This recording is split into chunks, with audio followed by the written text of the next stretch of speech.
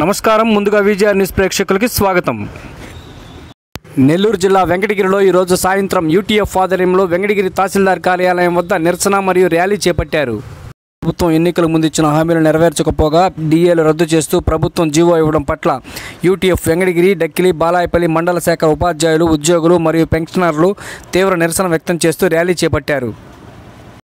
ప్రభుత్వం గతంలో ఇచ్చిన హామీలను నెరవేర్చడంలో ఉపాధ్యాయులను మాత్రమే చిన్న చూపు చూడడం తగదని వెంటనే ప్రభుత్వం స్పందించి మా డిమాండ్లను నెరవేర్చాలని వారు కోరారు.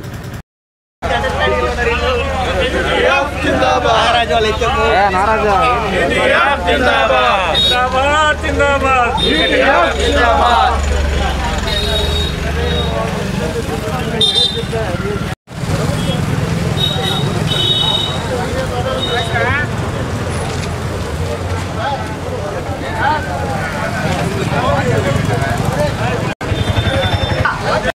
ఆర్థిక శాఖ వద్ద పెండింగ్లో ఉన్న బిల్లులు వెంటనే. జిందాబాద్ జిందాబాద్. రాష్ట్రంలో ఉన్నటువంటి అన్ని తాలూకా కేంద్రాల్లో కూడా నిరసన కార్యక్రమాన్ని తెలియజేస్తున్నాం. ప్రభుత్వ ఉపాధ్యాయులు పెన్షనర్లు ఉద్యోగుల పట్ల ప్రభుత్వం అవలంబిస్తున్నటువంటి తీరును నిరసిస్తూ అన్ని మీడియా ఫ్రీ- మీడియా నుంచి కానీ ఎలక్ట్రానిక్ మీడియా నుంచి కూడా ఈ నిరసన కార్యక్రమాలు తెలియజేయాలనేటువంటిది ప్రభుత్వానికి ముఖ్యమైనటువంటి ఉద్దేశంగా మేము భావించి ప్రతి కేంద్రంలో కూడా నిరసన స్టార్ట్ చేస్తాం కారణం ఏంటంటే ఇవాళ ప్రభుత్వం ఆర్థికపరమైనటువంటి ఇబ్బందుల్లో ఉన్నామంటూ అనేక రాయితీలు అనేక వసతులు కల్పిస్తున్నటువంటి సామాజిక కార్యక్రమాలకు ఎంతో ఉధృతంగా చేస్తుంది.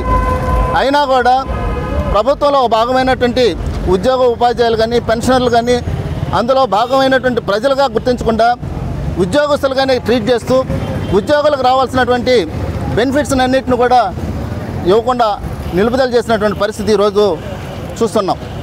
అయితే ఆంధ్రప్రదేశ్ ఐక్య ఉపాధ్యాయ ఫెడరేషన్గా ప్రభుత్వానికి అనేక రకాలుగా విన్నవించేతలసే ప్రయత్నాలు కూడా చేశాం.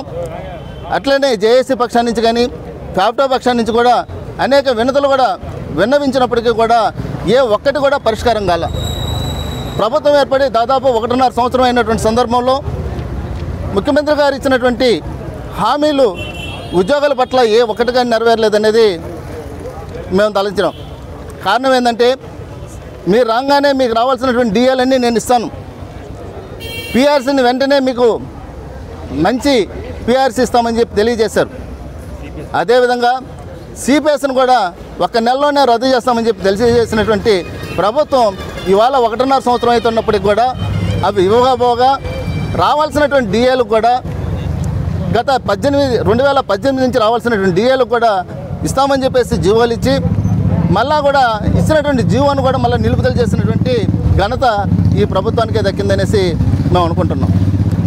మామూలుగా అన్ని సామాజిక వర్గాలకి పెన్షన్లు కానీ బెనిఫిట్స్ కానీ ఇచ్చేటువంటి సందర్భంలో చాలా బాగా ప్రజల్లో మనలు పొంది మేము కూడా ఉపాధ్యాయులుగా ఉద్యోగులుగా చాలా ఆశపడుతున్నాం. ప్రభుత్వం ఎన్నో రకాలుగా సేవలు చేస్తున్నటువంటి తరుణంలో ఉద్యోగాల కాడికి వచ్చేటప్పటికి డబ్బులు లేవనేటువంటి ధోరణి ఈరోజు చాలా బాధాకరమైనటువంటి విషయం.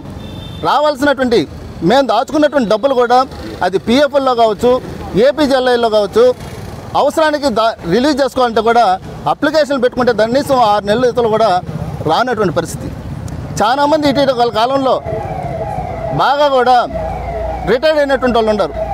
వాళ్ళకు పెద్ద మొత్తాల్లో రావాల్సినటువంటి పరిస్థితి ఉంది. దాంతోపాటు వాళ్ళ పెళ్ళిళ్ళకు పిల్లల యొక్క పెళ్ళిళ్ళకు కానీ వాళ్ళ చదువుల విషయాల్లో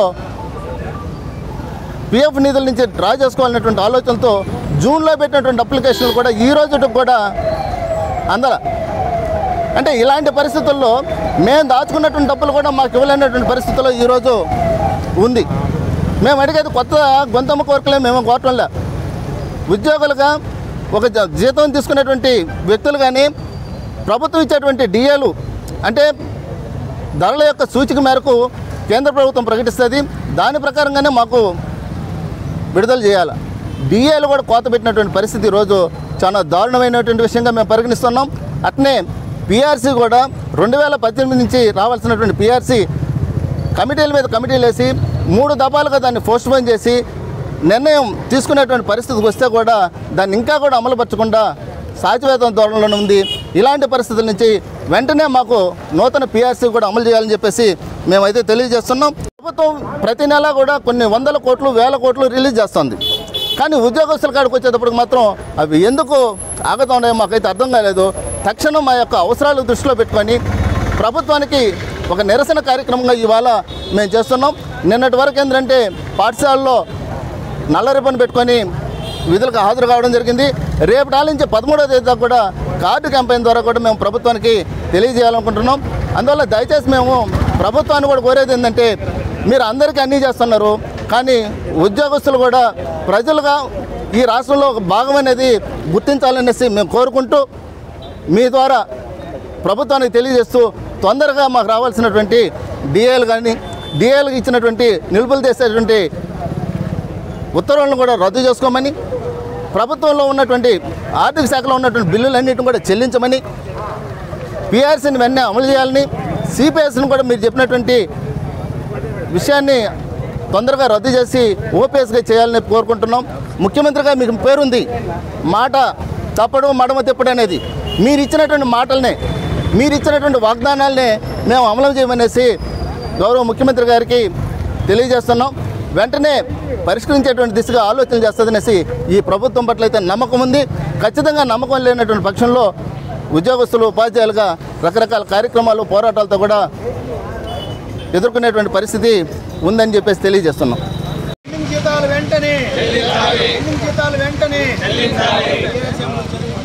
నూతన పిఆర్సీ అమలుకు నూతన పిఆర్సీ అమలుకు